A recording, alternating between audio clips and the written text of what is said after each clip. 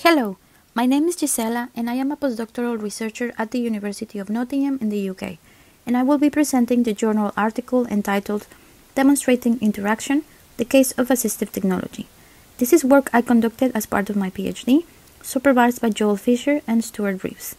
In this research, we unpack technology demonstrations performed by visually impaired people and discuss the key demonstrational features identified arguing for the value and limitations of demonstrations in HCI research.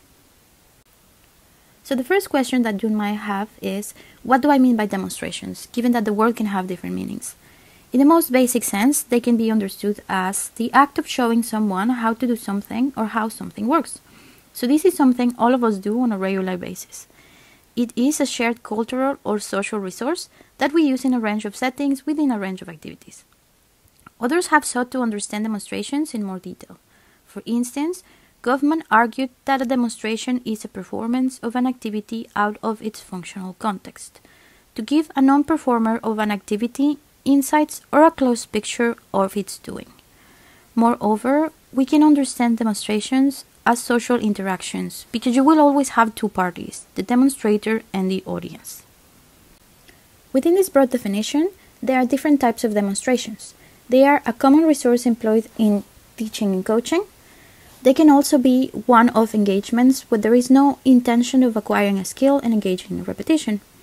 And there are also the very popular technology demos conducted by tech companies.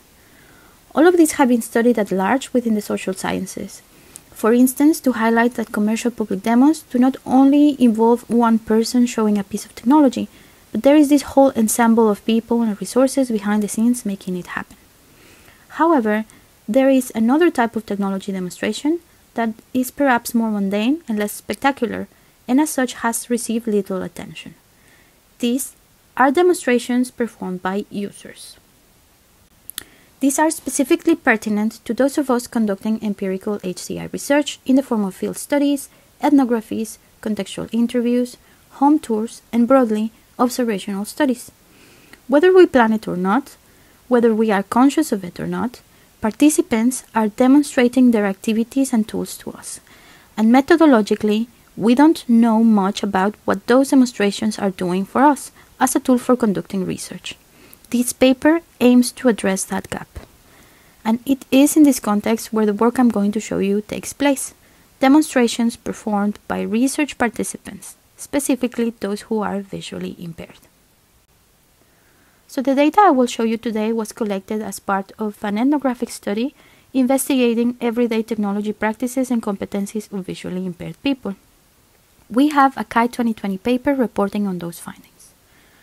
Throughout conducting the analysis of that study, we realized that demonstrations were an emerging phenomenon occurring during fieldwork, ending up with a subset of over a hundred video recorded demonstrations from 10 different participants observed at their homes and at the workplace.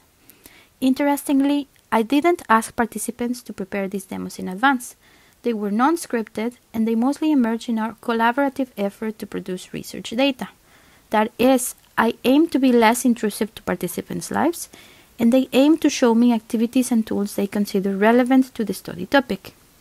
Again, this is something we commonly do in empirical HCI. The analysis of this paper takes an ethnomethodology and conversation analysis approach to investigate what is happening in this demonstration. That is, we look at actions and interactions in fine grained detail and we use transcriptions to analyze and reveal them. I will show you one example of this. I am going to play a video clip of a partially sighted participant. He is legally blind but has some residual vision. In this clip, we are at his home, sitting at the dining table, and he is demonstrating different apps he uses for conducting everyday activities. He is going to demonstrate a mobile app for reading printed text. In this example, we will hear the phone screen reader in the background. If you are not familiar with it, this is an accessibility feature that all or most smartphones have nowadays, and when it's turned on, it renders text and image content as speech output. So basically, the phone reads aloud the elements on the screen.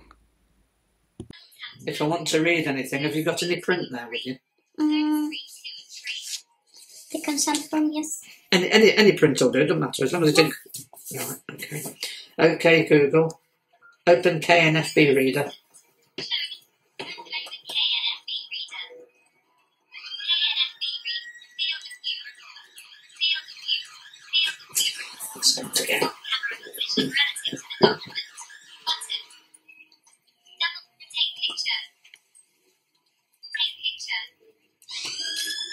Okay. Did you print? Yeah. Okay. Is that enough? Yeah. That's our email. It's not one of the most popular apps, but I like it. Let's unpack this clip. Firstly, we can note there is some preparation or staging required for demonstrating that involves getting the materials and conditions necessary. He asks me, Have you got any printer with you?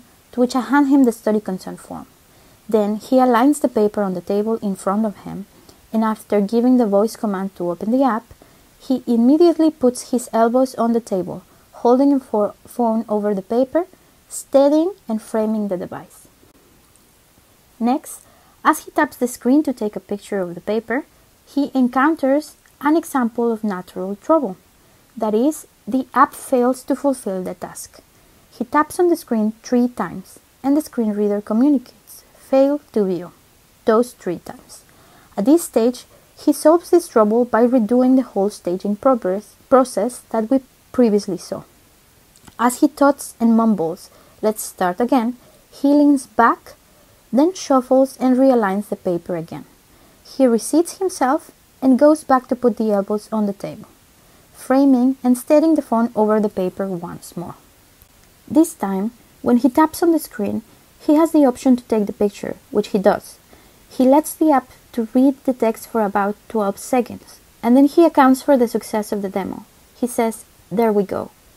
He then takes the elbows off the table and hands me the paper back so he goes out of the demo. But that's not all. He further checks upon me by asking, Is that enough? And as I say yes, he closes up this demo by providing some context of use. He says, That's how I read mail.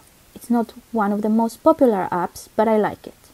So, as you have seen, our analysis in this paper focuses on the work of demonstrating, or how the demonstration is being done. I won't go into much detail right now, but in the article we also revisit our previous work outlining the competencies of visually impaired people, as observed in these video recordings. So if you're interested, I invite you to look at our CHI 2020 paper as well as this article.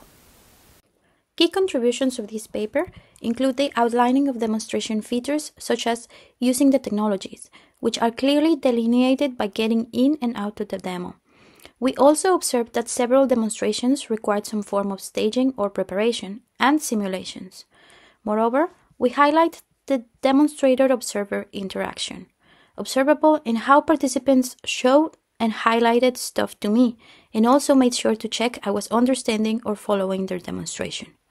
Throughout, they provided accounts to explain, contextualize, draw attention, validate, or open and close the demonstration itself. In light of these features, in the paper we discuss the ethical and practical considerations of capturing demonstrations in empirical HCI research.